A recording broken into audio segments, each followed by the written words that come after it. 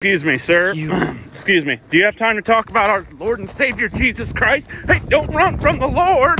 Where are you going? You wanna.